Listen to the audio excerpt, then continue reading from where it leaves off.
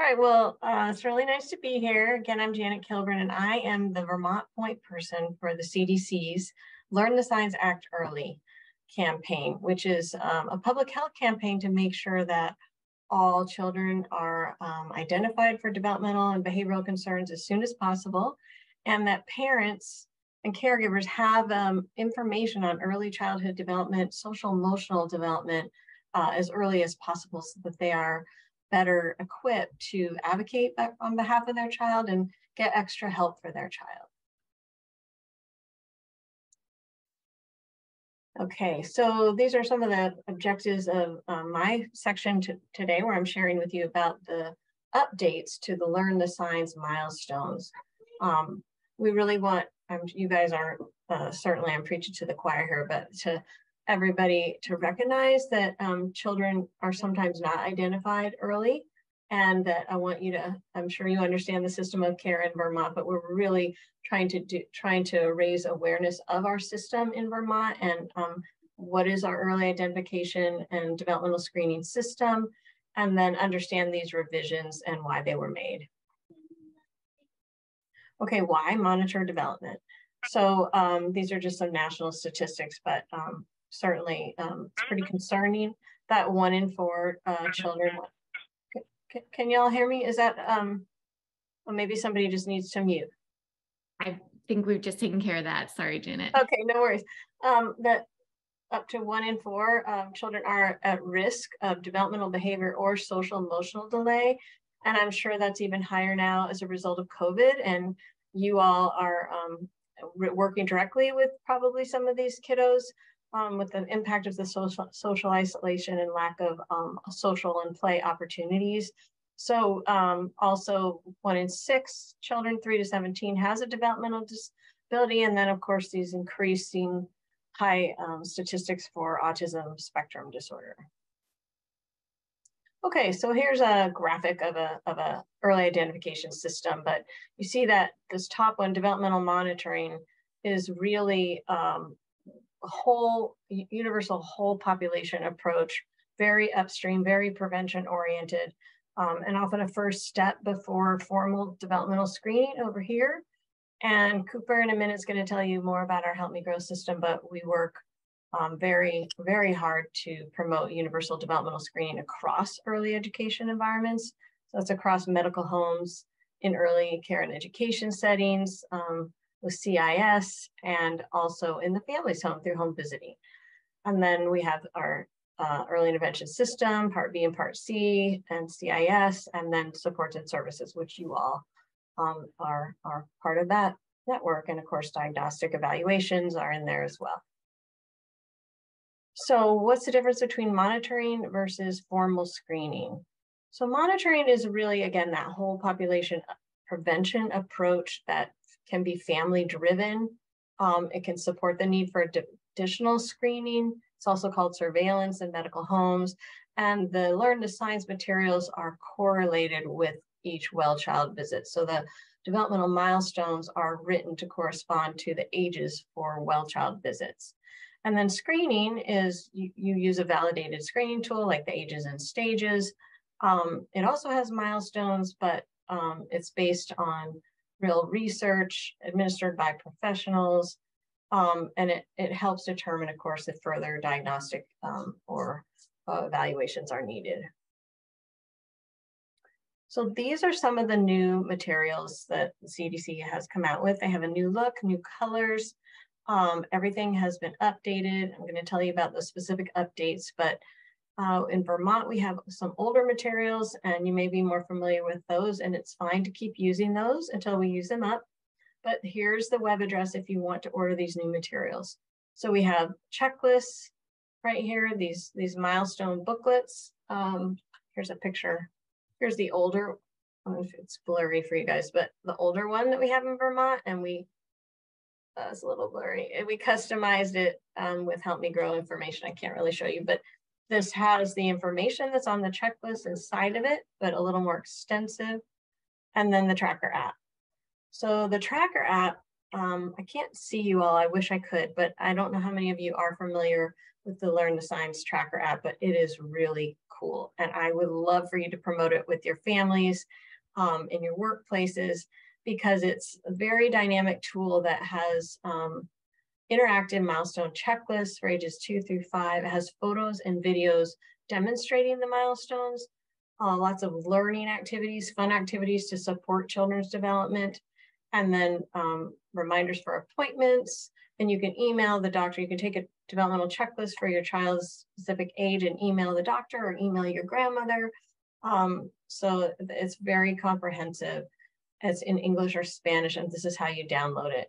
And I'll give one caveat that it is in still in process with these revisions. So their CDC is also updating all the photos and videos and adding more. So that has not been completed. Um, so if you download it and look at it, it has a lot of good written content, but it doesn't have what I consider that most dynamic feature. So um, you may have to wait a few more months on that, but it, it, it's coming.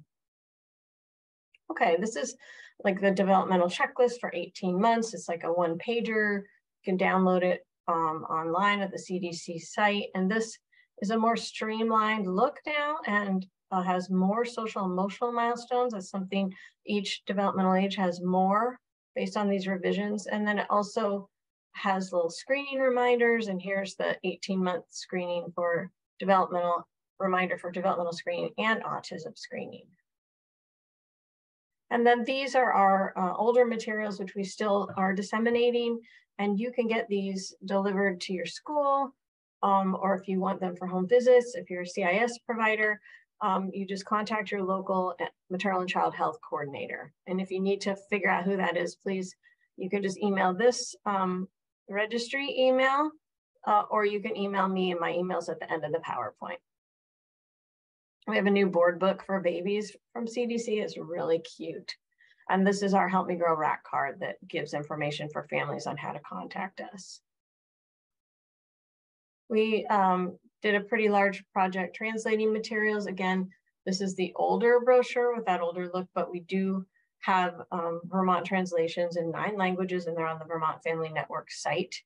Um, if folks are working with um, families who are speaking other languages.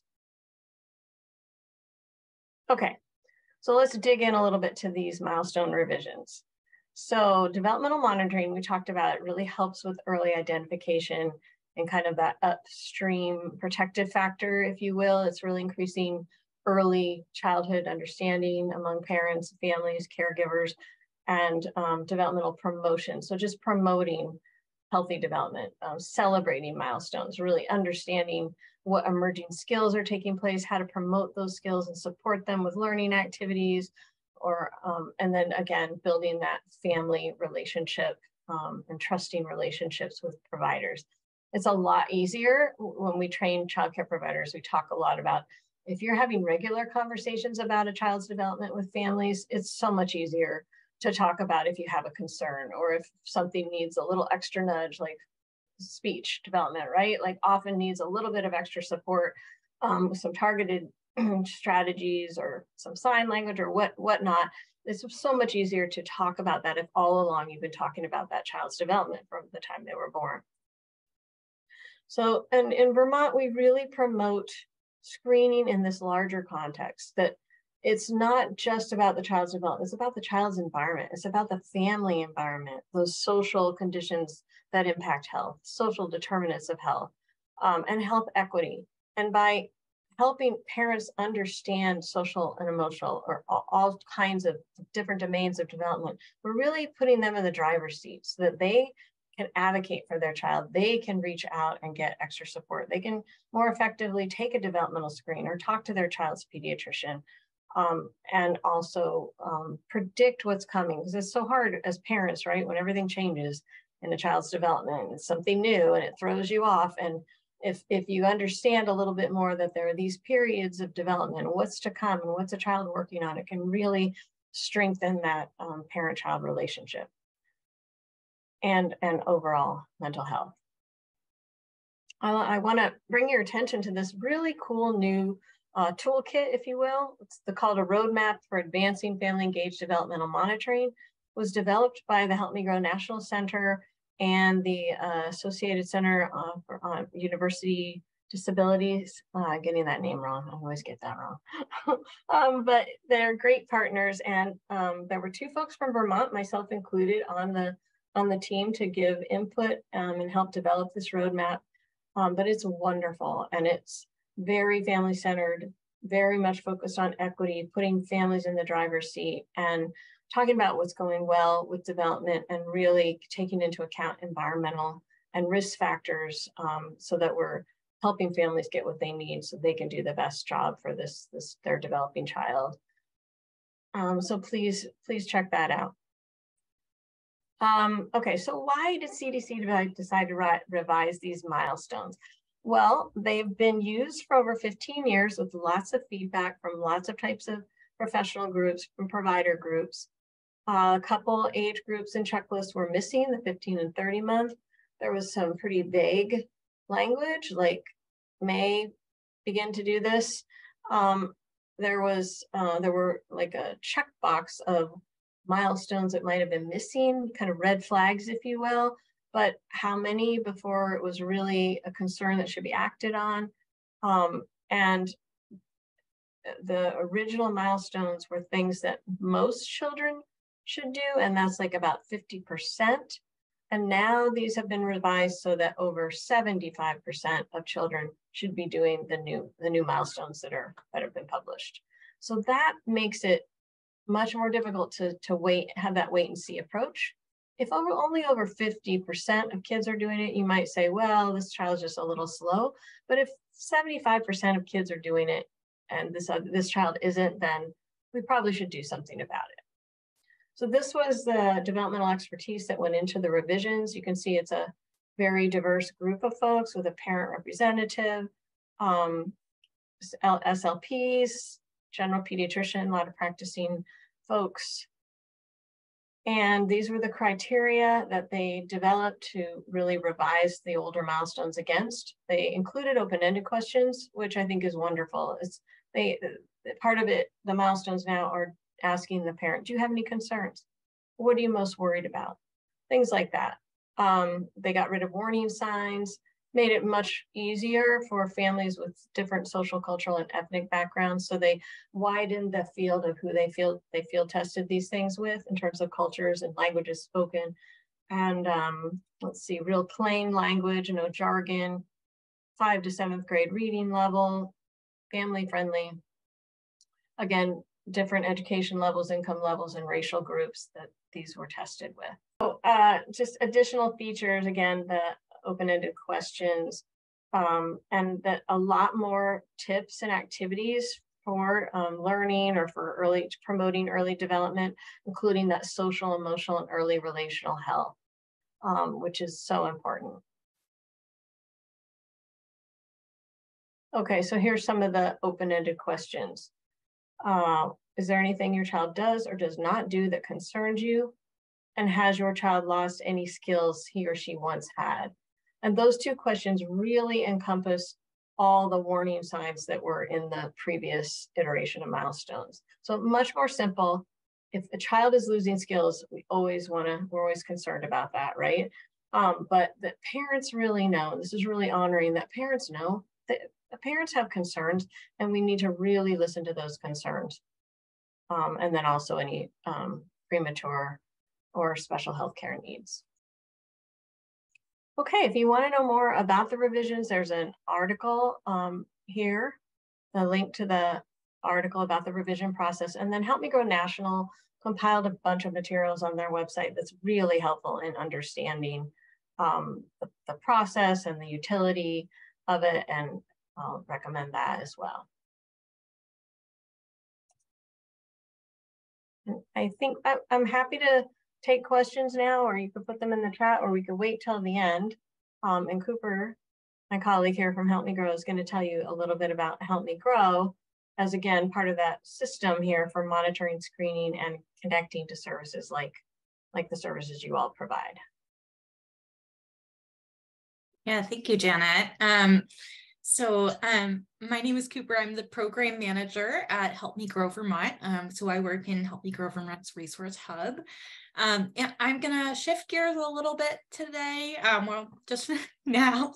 Um, and we're going to talk a little bit about Help Me Grow Vermont um, and how we um, we support families throughout the state um, and the resources that we can offer um, to some of your families. So, um, you know, our vision is really um, help me grow as the one-stop shop um, for connecting families to services and supports throughout the state.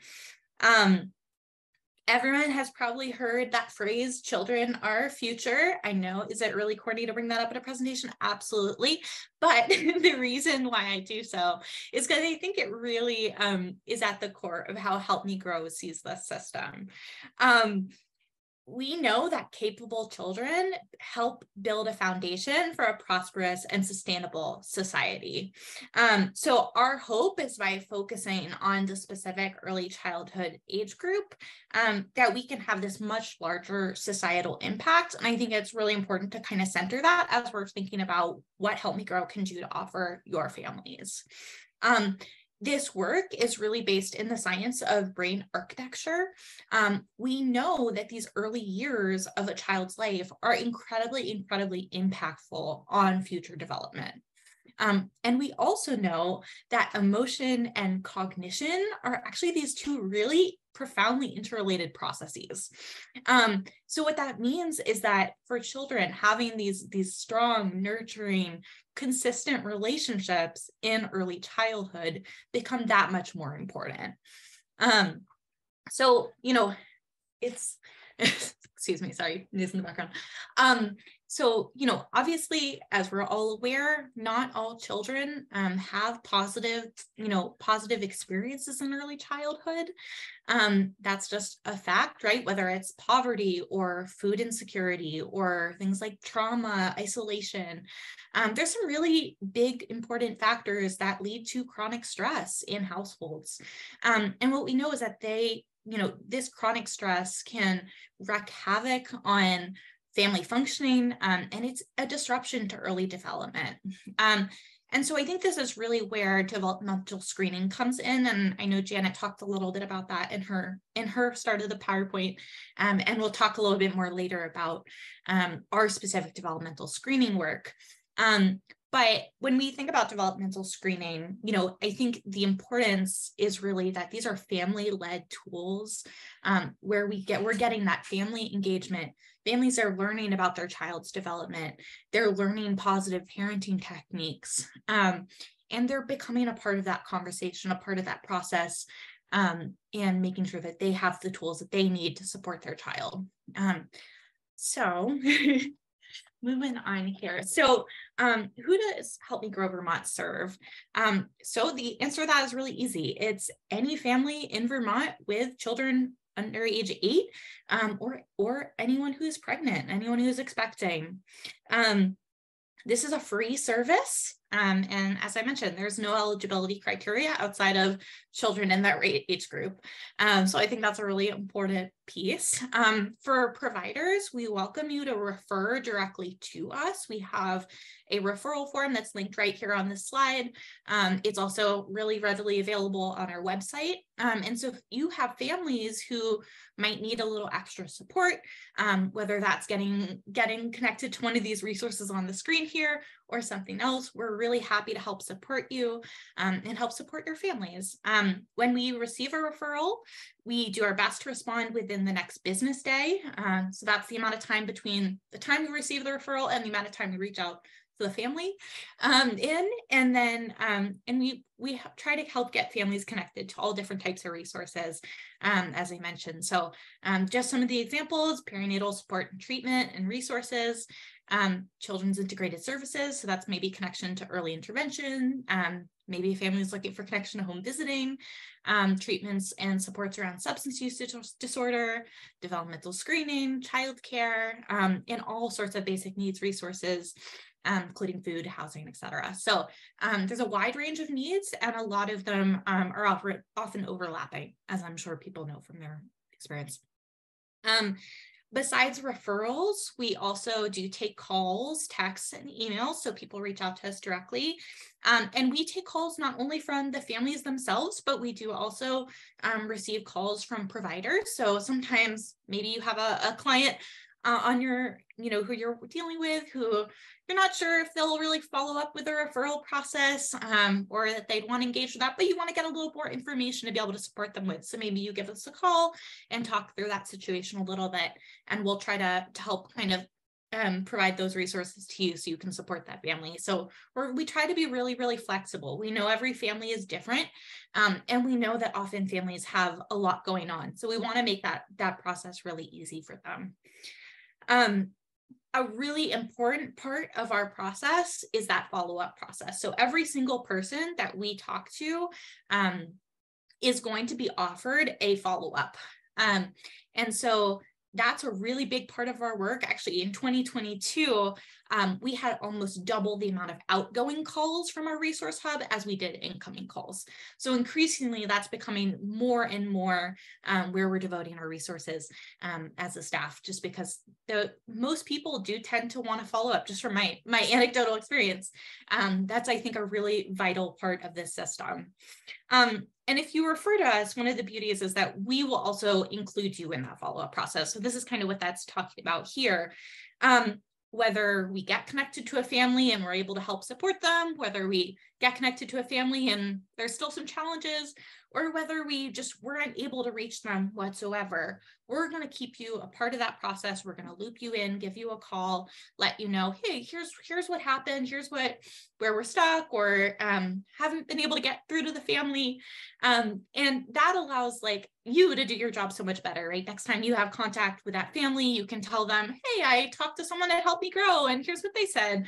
Um, and I think, you know, we know that all the, a lot of these systems are very challenging, um, especially for someone who's never maybe engaged with them for the first time. And so having as many supports and as many people who can um, have that inside information of being like, oh, did you get through to, in, to children's integrated services? Um, have you set up an evaluation? Like some of that language is really helpful to be equipped with um, so that you can help equip the family um, for those processes.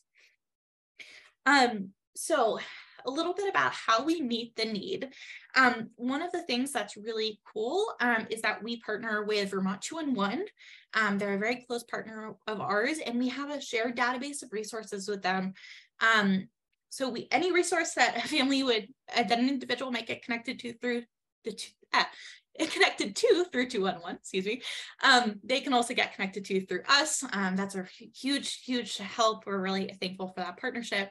Um, and we also do have a kind of help me grow specific um, database as well. So some very um, specialized resources, which we'll talk a little bit about later.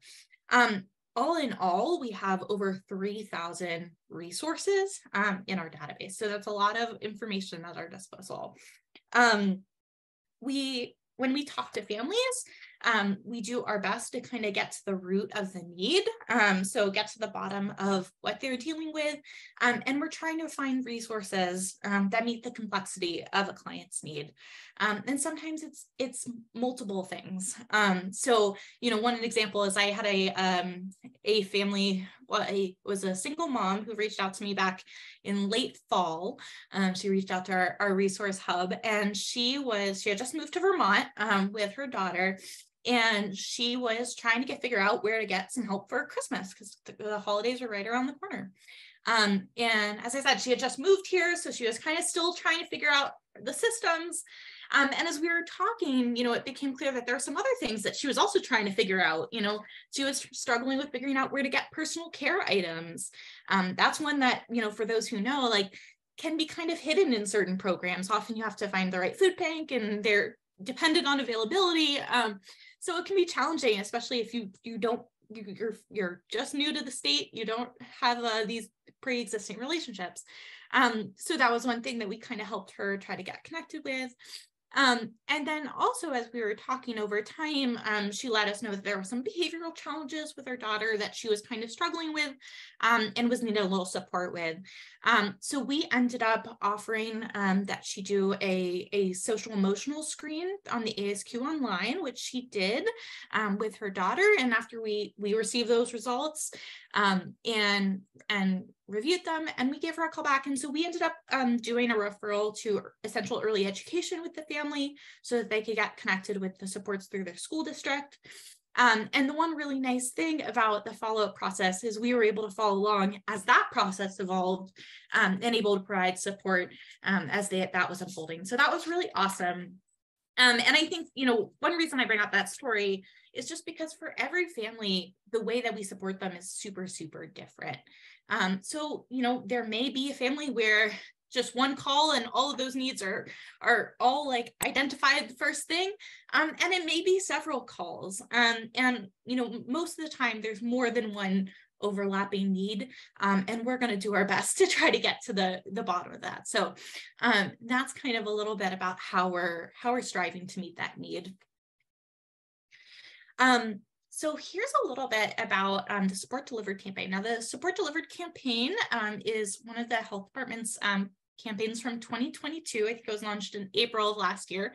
Um, and it's a way that we're partnering um, together um, as a way to offer supports um, to new and expecting parents um, related to to perinatal mood anxiety disorders. Um, we often think of that as also postpartum, postpartum anxiety and depression. so through this work, the health department on their website has a a web form submission where folks can go in and they can um, request um, to get in contact with Help Me Grow Vermont, ask very basic information, name, town, and a means of contact. Um, and then we will reach out directly. It comes directly into our email inbox, and we'll reach out um, and see how we can support them with that with that kind of um, treatment. Um, as I mentioned before, you know, Help Me Grow has some very specific um, resources in our database. A lot of those are um, are related to perinatal mood anxiety disorder. We have um, a, a, wealth of therapists who specialize in this time period um, that we have in our database. So um, if folks are, are wanting to get connected with a therapist, we can help with that.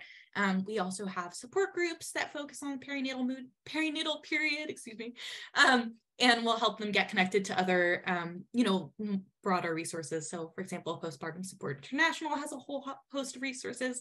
So um, a lot of different options depending on what the family is going through and what they're looking for. And I always just like to flag for this. Um, it's not just necessarily the birthing parent. Um, there's also, um, we work with non-birthing parents as well. Um, really anyone who's struggling in that, that prenatal and postnatal period is welcome to, um, to get connected with us. Um, so that's a little bit on that. Um, and then another big piece of our work that I always like to flag for people is our, our work with Children's Integrated Services. Um, one of the things we do a lot um, is help get families connected with CIS, with Children's Integrated Services. Um, and, you know, we know that often families have this kind of complex array of needs. Um, and we also know that it's really natural as a parent to have some developmental concerns, right? It's, you know, I think Janet was getting to it earlier. It's a scary time sometimes. And if you don't have that knowledge, um, or if you don't know to predict, to, to expect some of those changes, um, it can be scary. And so what we try to do is whenever there are concerns um, that a family brings up about their child um, and how they're developing, we're going to try to arm them um, with that support, with that knowledge. Um, if there needs to be next steps that need to happen, we're going to help get them connected to those. Um, and whether that's, you know, a referral directly to Children's Integrated Services, whether they're they're needing just to start with like a developmental screening, we're going to try to help meet that need um, and support them through that process. Um, so with that, I think I'm gonna hand it back off to Janet. Janet, feel free to, if there's anything I missed, feel free to go ahead and add in. Um, and, uh, and let me know if anyone has questions. Uh, that was awesome. Thank you, Cooper. Yeah, uh, I think part of our quality improvement work is trying to build a stronger connection to CIS programs and particularly focusing on um, referring to home visiting programs and every family deserves a home visitor, right? And it's um it's a nice time to have that extra support and really normalizing that for families and um, offering a person to come to their home and building that connection between the telephone support, telephone care coordination, Help Me Grow offers, and the real person in the community who can come in and continue the screening, referring, and connecting to resource work. Um, that's so important. Okay, so I'm just gonna finish us up here with a little data about Help Me Grow. Um, we have a new report card right here is this link. Uh, please check it out. It's um, a lot of work that happened during the pandemic uh, and uh, we're a little bit a year in arrears with our data because of the pandemic, but um, there's some, some pretty significant work that was done. Here is a graph on the calls and referrals that we received.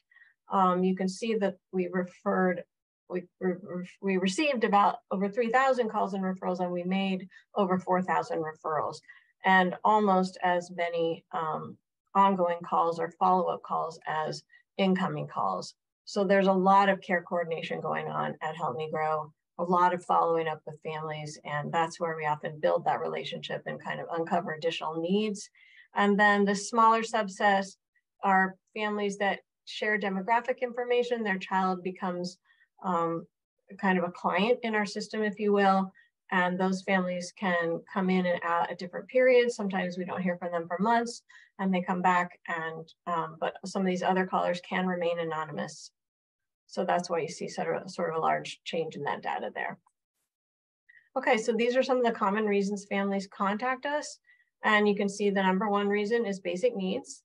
Um, and that part of that is also our relationship with Vermont 211 that um, any caller that calls them, they will refer straight to Help Me Grow because of that um, really intense level of care coordination, the follow-up that we can offer that 211 does not offer, don't have the capacity to offer.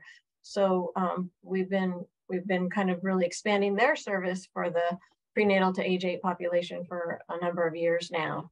Um, and then you can see we had a lot of income support and employment um, work and referrals that happened again, that was during the pandemic. Even criminal justice and legal services, things like family court, economic appeals, um, and then individual and family wellness. And that's a lot of the developmental resources, um, referrals to CIS, um, parenting hotlines, the perinatal um, and anxiety work fall under that bucket. And um, you can see that although the reasons for calling Help Me Grow, like this basic need category has remained consistent over time, we've really increased our referrals for perinatal mood and anxiety disorders and we made over 230 referrals on behalf of 57 individuals um, in 2020 and 21. And uh, we received 63 total contacts for PMADs. That's referrals, calls, emails, texts, um, and provided 297 referrals. And I believe that's in 2022. Yeah. So we're increasing that work and really proud of it. And um, encourage you all, if you're working with someone who's who's suffering from anxiety or depression to connect either you directly as the provider, talk to Help Me Grow about resources that you may not be aware of, and we're happy to share anything we know of that you can directly connect the family to and or refer the family to us. And Cooper shared some success stories, but these are, again, just some of the general ways that we help families um, really that navigating complex systems of care um, and that we're just kind of a safety belt there to help with anything. So if there are any questions in the work you're doing with families, please call Cooper and ask her. Um, you know, you can be not, you can keep the family anonymous and just find out um, if you need help understanding these systems that can be really difficult to come to navigate, especially if folks are involved in child welfare systems or um, it's it just can get really complicated. Okay, this is some of our work that we've done with training early care and education providers and others. Uh, during the pandemic, we were able to continue training uh, over 400 folks here, healthcare, early edu educators, community providers, home visitors, to conduct developmental and social emotional screening and to refer families for further evaluation and or services. And so that means that uh, today there's over 9,000 children in childcare programs that have received our training. Um, this includes over 2,000 preschoolers heading off to kindergarten better prepared to learn and succeed. We know that if folks, if families and children are in programs that have received Help Me Grow training, whether it's pre-K or a home-based childcare provider, those kids are better off developmentally and those families are better prepared for their school, their child to thrive in school. Um, and so that's almost enough children to fill half of Vermont's kindergarten classrooms. So we're very proud of that data. Okay, so Help Me Grow offers the Ages and Stages online system for the state of Vermont, free of charge to any provider screening. So if any of you use the ASQ, SE, or 3, please email Cooper and we can give you access to this online system, which is very dynamic, robust. It has multiple reporting features. It also has the, the learning activities that correspond with each screening tool, age, and each domain that you can download as a PDF and mail email to the family after a visit. It gets rid of those big paper books um, that people were Xeroxing pages out of. So um, it's a really nice way to follow up after screening with those learning activities, or if a child is in the monitoring zone on, on one domain or two domains, you can give activities like speech activities or motor, gross motor activities to families to help encourage that skill to progress by the before the next screen.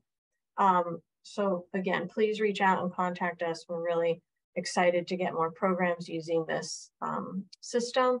And this is the programs that we have currently using. You can see the majority here in the blue are early care and education providers.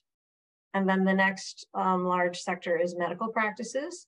And we have, um, I think, six strong family home health agency sites now using the, the ASQ online. And we have, I think, two and maybe soon to be three, three, three CIS teams using, which is super exciting.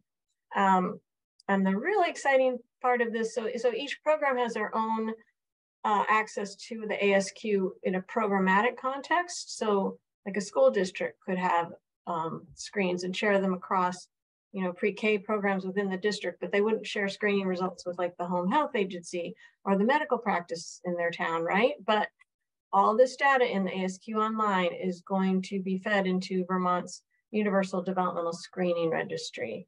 And I, I know some of you on this call probably know about the registry and know when we launched it. And um, we're really excited that we have this more robust, user-friendly, really intuitive ASQ system with a lot more features than our registry offers. And our registry is part of our immunization registry here at the health department. If folks are aware of that, we have vital records, we have metabolic screening results, hearing results, lead results, and now we have developmental screening results. Um, and so we have over 13,000 screens, I think, in ASQ Online, and our IT is just beginning to complete this data bridge that they were in the process of building, got interrupted by COVID. So stay tuned later this summer and fall, and um, you will be able to look up a child's screening history or screening results before you screen a child in our registry, and hopefully there'll be somebody else who screened that child that, that you may be able to reference to help in your own work. So stay tuned for more on that. All right, and now it's time for questions. And I wonder if I should, um, also I'll just say our last slide has both Cooper and my email on it, so you can contact us and you all have the slides. I think they're emailed to you. But maybe I'll stop sharing my screen so I can see people better. That's okay. And I also put in the chat for folks, um, Help Me Grow's general email inbox, um, just if anyone is interested in ASQ online or anything else. Um, so feel free to reach out to us that